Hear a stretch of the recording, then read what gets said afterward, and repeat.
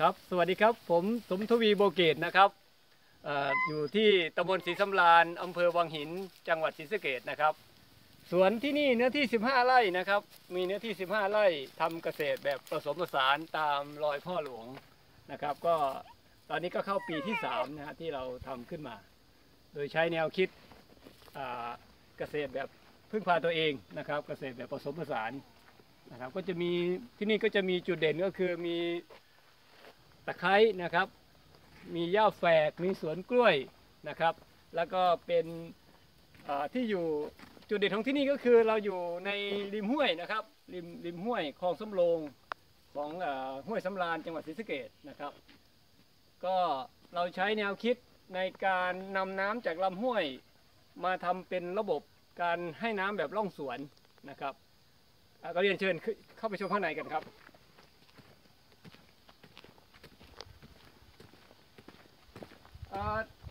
เราจะนำน้ำจากลำห้วยขึ้นมานะครับ เอามาใช้ในในหลากหลายก็คือ อย่างเช่นภายในสวนเราจะมีร่องน้ำนะครับ มีร่องน้ำน้ำพวกนี้นี่เราก็มีปลาด้วยนะครับ มีปลาด้วย น้ำพวกนี้เราขังไว้เพื่อให้ต้นไม้นะครับ ใช้รากมาดูดซึมเข้าไปเข้าเอ่อให้ให้ให้ต้นไม้เรามีมีน้ำนะครับ แล้วก็นอกจากนั้นเนี่ยเราก็จะใช้ การปลูกพืชแบบผสมผสานนะครับ คือเจออะไรได้ที่เราเห็นว่ามันจะทำได้ก็เอามาเอามาลงอย่างเช่นมะพร้าวนะฮะที่อยู่ในตรงนี้ก็มาเพาะเองนะครับ แล้วก็ให้มันงอกแล้วก็ปลูกไปเรื่อยๆนะครับ ผสมผสานกันไปนะครับ ตรงนี้ข้างในก็จะเป็นบ่อปลานะครับ มีปลานะครับในบ่อ มีปลาในบ่อแล้วก็ส่วนถังที่เห็นนี่ก็คือ ปุ๋ยหมักนะครับ ปุ๋ยหมักจากครัวเรือนนะครับ จากของใช้ในครัวเรือนเรานะครับ เอามาทำเป็นปุ๋ยเพื่อให้ต้นไม้เพื่อให้อาหารปลา อันนี้ผมหมักไข่นะครับหมักไข่นะครับ อย่างเช่นปลาที่อยู่ในสระก็ก็มีทั้งหมดอยู่ห้าห้าบ่อนะฮะบ่อใหญ่ๆอยู่ห้าบ่อ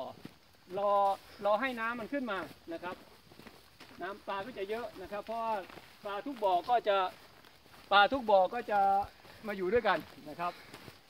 ตอนนี้น้ำมันแห้งนะครับ น้ำมันแห้ง ก็มาที่นี่ก็ได้กินปลาแล้วครับ เพราะว่าปลาเยอะนะครับนะครับ เป็นเป็นปลาที่เราเลี้ยงไว้อ่อหลายหลายพันนะได้ปลาช่อนก็มีปลาดุกปลาหมอปลาสวายนะครับปลานินนะครับ เลี้ยงแบบผสมผสานกันครับ ส่วนตอนนี้เนื่องจากว่าเพิ่งเราเพิ่งทำได้ สองเข้าปีที่สามนี่ฮะอย่างนั้นสภาพอาจจะยังไม่สมบูรณ์เท่าไรนักนะครับ ที่ตรงนี้จากที่นาโล่งๆนะฮะจากที่นาโล่งๆเรามาทำเพื่อแก้ปัญหาน้ำท่วมซ้ำซากนะครับ เพราะที่น้ำเราอยู่ริมห้วย เราอยู่ติดห้วยน้ำจะแรงมาก ดังนั้นเราก็ทำเป็นคันดินยักษ์ขึ้นมา แล้วเราก็ปลูกปลูกไม้ที่เราปลูกง่ายๆ อย่างเช่น พวกไผ่นะครับ มีไผ่มีกล้วย มีไผ่มีกล้วยเป็นหลักนะครับ แล้วก็ผสมผสานกับพวก พืชพันธุ์ธัญญาหารต่างๆ แล้วก็จะมีหลายสารพัดนะครับ เป็นเกษตรแบบแบบแบบบ้านๆนะครับ แบบบ้านๆที่นี่เราจะเน้นเรื่องเรื่องน้ำนะฮะน้ำเราจะทำเป็นร่องสวนไว้รอบสวนนะครับ จะพาไปดูกันนะครับ อย่างนี้นี่คือที่อยู่ที่อยู่อาศัยเรานะครับ ที่อยู่อาศัยเรา ก็จะมีใต้ถุนบ้านก็จะมีปลา มีปลานะครับ มีปลาเลี้ยง อยู่ข้างบนแล้วก็เย็นดีนะครับทำแบบง่ายๆครับบ่อก็บ่อทำด้วยพลาสติกนะครับด้วยพลาสติกนะครับเดินพระชำแล้วก็ทำแบบง่ายๆครับ มีอะไรเจออะไรก็เอามาปลูกเอามาเตรียมไว้นะครับ เพื่อจะลงแปลงต่อไปนะครับ ก็มีกุ้งนะครับ มีกุ้ง อันนี้เป็นกุ้งเอ่อกุ้ง crayfish นะครับ ก็เลี้ยงไปเรื่อยๆนะครับเดี๋ยวนี้ก็เยอะละนะครับ เยอะละ นะครับ มีกุ้งนะครับ ตัวเล็กตัวใหญ่ มีลูกมีหลานนะครับบ้านก็จะทำด้วยบ้านไม้ไผ่นะฮะทั้งหลังไม่ต้องใช้ตะปูเป็นบ้านไม้ไผ่นะครับเอามาเชิญเชิญชมกันต่อนะครับ ก็จะมีบ่อ มีบ่อกบด้วยครับ กบเราก็จะเลี้ยงเอ่อแล้วก็จะมี เลี้ยงปลาด้วยนะครับ มีมีปลาด้วยนะครับ เลี้ยงกบไปด้วยนะครับ ให้อาหารกบปลาก็ได้กินขี้กบไปด้วยนะครับ แล้วน้ำพวกนี้ก็จะไหลออกอีกสปริงเวย์อีกด้านหนึ่งนะครับ เป็นการทำสะอาดบ่อไปด้วย ก็ไหลไปให้พวกต้นมุงต้นไม้นะครับนะครับอาเรียนเชิญครับ ส่วนทางเดินในรอบๆสวนก็จะมีบรรยากาศแบบนี้แหละฮะก็คือจะใช้หญ้าใช้ฟางเป็น เป็นพืชคลุมดิน เพราะดินที่นี่จะเป็นดินดินแข็งนะดินดินเหนียวดินแข็งนะครับ ดินเหนียวดินแข็งวิธีการแก้ปัญหาคือเราใช้ฟางเป็นพวกบำรุงดินนะครับก็จะปลูกสารพัดนะครับ ปลูกสารพัดที่เรามีก็อย่างเช่นมันอย่างเช่นมันอย่างเงี้ยแล้วก็ปลูกได้ครับนะครับ มีสารพัดต้นไม้นะครับ มีเตยมีเผือกนะครับ มีสารพัดนะครับ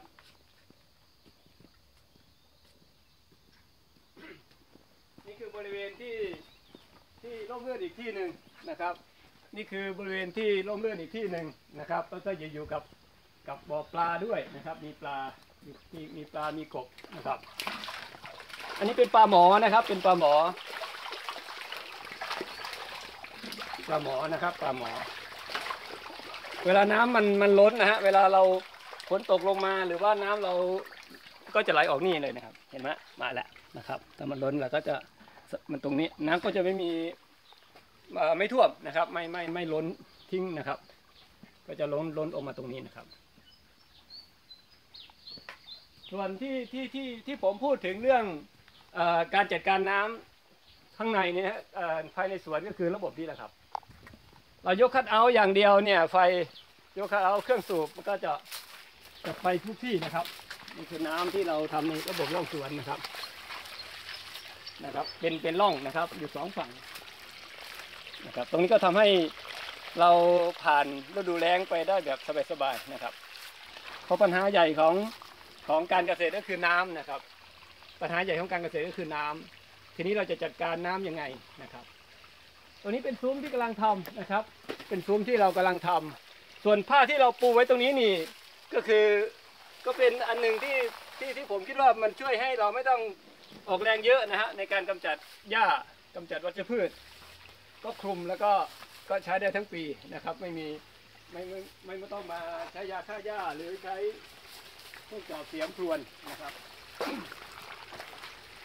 ส่วนพวกผักพวกนี้เราก็ก็ก็กินจนจนวายแล้วนะฮะก็ได้กินอยู่เรื่อยๆ ที่นี่ไม่ใช้สารเคมีนะฮะไม่ใช้สารเคมี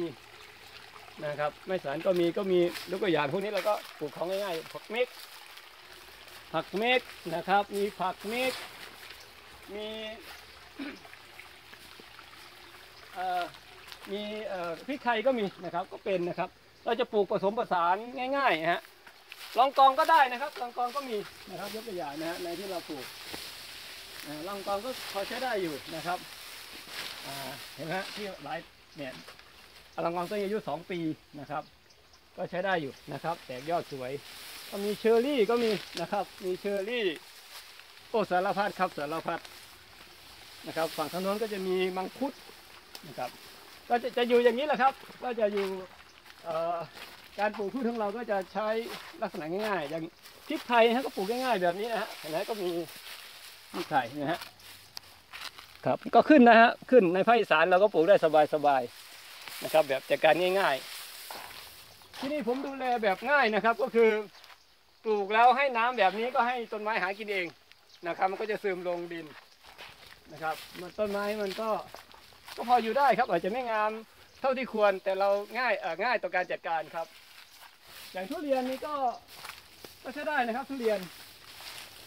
ใช้ได้ในมุมก็คือมันอาจจะไม่งามมากนัก แต่มันรอดตายละปีที่สองละนะครับ ก็โตพอสมควรทุเรียนนะครับเห็นไหมฮะนี่น่าสนใจมากเลยนะครับ ก็คือพริกไทย มันก็เยอะแยะผลผลิตนะครับ มาที่นี่ไม่ต้องห่วง เห็นอะไรที่แบบง่าย ๆนะครับ อยู่นี่ต้นต้นไม้ที่เยอะที่สุดคือคือไผ่ไผ่ที่นี่ผมปลูกพันธุ์ซางหม่นเป็นไผ่ที่ลำต้นตรง นี่ลมมาเมื่อเมื่อเมื่อสามสี่วันที่แล้วก็เอ็นหมดเลยนะครับ เอารอดเหมือนกันนะครับ ผ่านผ่านไปได้ด้วยดีนะครับ ครับก็จะมีลักษณะแบบนี้ไผ่นะครับนี่ไผ่พันธุ์สงวนเหมาะสำหรับก่อสร้างเหมาะสำหรับทำตะเกียบทำเฟอร์นิเจอร์นะครับสังเกตว่าของผมนี่จะใช้นะฮะน้ำก็จะมาแบบนี้นะน้ำนะฮะวิ่งรอบสวนมันเลยไหลตลอดฝั่งนี้ก็มีนะครับฝั่งนี้ก็เป็นก็มีน้ำเหมือนกันขอโทษขอโทษนะฮะวิ่งมาดีอ่าเป็นง่ายๆหน่อยน้ำก็จะมาแบบนี้นะครับ น้ำก็นะครับต้นก็ซึมซึมไปให้ต้นไผ่ต้นไม้ที่เราปลูกไว้นะครับ ก็ก็ปลูกสารพัดนะครับ อย่างเช่นที่เราเห็นอยู่ใกล้ๆต้นก็มีมะมะม่วงนะครับมะม่วงเอ่อทางโน้นของโน้นก็จะมีเงาะนะฮะก็เงาะก็มีนะครับ ก็ก็ก็สองปีเหมือนกัน ก็ใช้ได้อยู่นะฮะก็ปีปีกว่าเข้าสองปีปีที่สองนะครับ ส่วนกล้วยก็เป็นหลายสายพันธุ์นะฮะอันนี้เป็นกล้วยกล้วยบ้านๆนะฮะไม่รู้ไม่แน่ใจว่าพันธุ์อะไร เพราะว่า เพราะว่าผมเอามาจากหลังบ้านบ้านแม่นะครับ เก็บเก็บพันธุ์ไม้ที่นี่แหละมาปลูกนะครับย่างฝั่งทางนี้เจอลมแรงหน่อย กล้วยกล้วยเราเจอลมแรงหน่อย ก็ผ่านไปด้วยดีครับ ผ่านไปด้วยได้ดี ก็จะมีมะพร้าวแซม มีสารพัดนะครับเป็นสารพัด ครับอันนี้พันธุ์อะไรนะครับนี่ใหญ่เลย เอ่อกล้วยน้ำว้าครับกล้วยน้ำว้าขาวนะครับกล้วยน้ำว้าขาวผมว่าที่มันมันเอ่ออย่างเช่นอย่างนี้เราก็ไม่ค่อยได้ดูแลนะฮะแต่เราคิดว่าน้ำมันพอ มันก็ได้กินนะครับ อย่างเช่นอะไรเนี่ยฝรั่งเนาะฝรั่งนะฮะน้ำมันก็อย่างนี้แหละครับ กาแฟก็ขึ้นเหมือนกันครับ กาแฟนะครับ กาแฟเยอะหน่อยนะครับ กาแฟก็มีนะครับอะ มาดูฝั่งทางนี้นะครับ ยังไม่ได้มะม่วงงามครับมะม่วงจะค่อนข้างจะงามมะม่วงค่อนข้างจะงามเมื่อเทียบกับอย่างอื่นเนาะมะมะม่วงอายุเท่ากันกับกับมะพร้าวเลยนะฮะทีนี้เราจะปลูกแบบผสมผสานไปเลยนะฮะเราไม่ค่อยได้ดูแลให้มันหากินเอง หากินเองเกษตรธรรมชาตินะครับ ก็จะมี อ่าเรียกว่าต้นอะไรดิต้นแซวเนาะครับ บ้านเราเรียกว่าต้นแซวเออนี่ก็งามดีครับมะม่วงก็แค่ปีกว่าๆเอ้ยเขาปีที่สองก็ดีงามดีครับงอกเจริญงอกตามทุกอย่างพอใช้ได้ครับ แต่สิ่งที่น่ามหัศจรรย์มากก็คือไผ่อะครับผมชอบไผ่จะให้ดูนะฮะนี่คือไผ่อายุแค่สองปีนะครับ จากต้นละเอ่อซื้อมาต้นเดียวเนี่ยกิ่งเดียวเล็กๆอย่างเงี้ยเท่าประมาณนี้นะฮะเชื่อไหมฮะสองปีมันให้อย่างนี้เลยนะนับลำได้เลยนะครับ นับเป็นสิบกว่าลำสิบกว่าลำผลผลิตให้เป็นสิบสิบลำหน่อไม่รู้เท่าไหร่เป็นเท่าไหร่นะครับถือว่าให้ผลตอบแทนสูงมากไผ่นะครับทีนี้น้ำก็จะวิ่งมาตามตามตามร่องพวกนี้เลยนะครับ ที่ที่ผมออกแบบไว้รอบสวนนะครับน้ำก็จะวิ่งวิ่งวิ่งตามตามร่องพวกนี้นะครับ ก็จะปลูกสารพัดสังเกตดูมีหม่อนก็มี มีหมอนมีมะพร้าวมีกาแฟมีกล้วยนะครับ มีสารพัดนะครับ ผมคิดว่าอย่างกาแฟเนี่ยผมว่ามันก็มีโอกาสได้กินแน่นอนนะครับ ถ้าเป็นแบบนี้มะพร้าวนะครับ มีโอกาสได้กินแน่นอน นี่สตอครับสตอก็ถูกมาฝังไว้ไม่ใช่ปลูกนะผมว่าคิดว่าฝังมากกว่า ก็เป็นสตอนะฮะสตอก็ใช้ได้อยู่นะครับ สตอนะครับก็ ต่อต่อน้ำก็จะวิ่งรอบตรงนี้สองฝั่งเลยนะฮะก็ต่อแล้วมีอะไรอีกตรงนี้อ๋อมีมะกวมะมะไฟ โอ้ตัวนี้กล้วยล้มนะครับ นี่มะเฟืองเนาะมะเฟืองครับมะเฟืองนี่เห็นไหมกาแฟ บางต้นก็งามบางต้นก็อย่างนี้ฮะเข้าปีที่สองนะปลูกเมื่อปีปีก่อนนะกล้วยก็โอเคเจอลมนะครับ ส่วนฝั่งทางนี้นี่สามร้อยเมตรนี่ผมปลูก สวนป่านะครับ เนี่ยโอ้แดงต้นแดงครับ ต้นแดง ต้นแดงเจอลม เจอลมแดง แดงก็สองปีเหมือนกันเข้าปีที่สามพยุงนะครับ ก็โอเคนะครับ พยุงต้นประดูก็มีนะครับ นี่คือนี่คือฝั่งของสวนป่านะครับ ฝั่งของสวนป่า อันนี้ฝั่งสวนไผ่ตอนนี้เราก็เตรียมที่ดินไว้สำหรับทำ ที่พักนะครับที่กำลังจะสร้างทำด้วยไม้ไผ่ที่เรากำลังจะสร้างเรากำลังเตรียมที่ไว้คงจะเป็นปีหน้าคงได้ได้ทำนะครับ เพราะเราปลูกไผ่ไว้ทำโฮมสเตย์ด้วยนะครับครับก็ก็เป็นบรรยากาศประมาณนี้แต่ปลาเยอะครับ ดูเป็นมองเห็นเป็นดำๆเลยนะฮะปลาในบ่ปลาเยอะ ทีนี้พอน้ำมาก็จะวิ่งอ่าไปรวมกันเวลาให้อาหารนี่ คนนี่ตกใจอะฮะมันตัวใหญ่ บรรยากาศก็มีหลายมุมครับมุมสวนป่าก็เรียนเชิญนะฮะถ้าอยากใครอยากมามามีชีวิตแบบมาเที่ยวแบบชิวๆมาเที่ยวแบบชิวๆนะครับก็ก็มานะครับบรรยากาศที่นี่ก็จะเงียบนะฮะเพราะว่าอ่าห้อมล้อมไปด้วยน้ำและอยู่ไกลเพื่อนบ้านประมาณ 500 เมตรนะครับ ก็จะอยู่แบบแบบง่าย ๆนะครับแบบชิวๆนะครับ คันดินนี้สูงจากพื้นปกติปกติที่ดินแถวนี้นะฮะจะเป็นจะเป็นนาน้ำท่วมนะฮะสังเกตดูนาพี่น้อง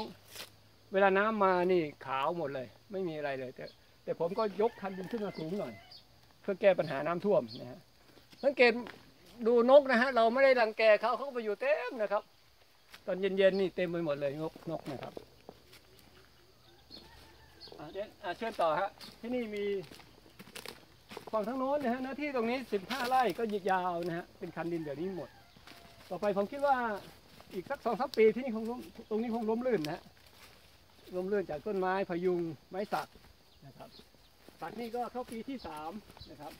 สักนี่เข้าปีที่สามเหมือนกันสักยังไม่ได้แต่งกิ่งเลยครับ ยังไม่ได้แต่งกิ่งเลยนะครับ ก็อยู่กันปลูกแบบผสมผสานครับอ่าตัวนี้เป็นโซนโซนสวนป่า นะครับโซนสวนป่า ผมคิดว่าไม่ไม่ถึง 20 ปีมันคงเป็นอะไรที่มหัศจรรย์พอสมควรเนี่ยแค่ปีที่สามก็เนี่ยดูดูดูพยุงนะฮะก็ประมาณนี้นะครับ พยุงก็นี่ดูกระดูนะครับก็งามอยู่นะครับกระดูก็ใช้ได้ครับมีสารพัดผมปลูกสารพัดพันไม้นะฮะ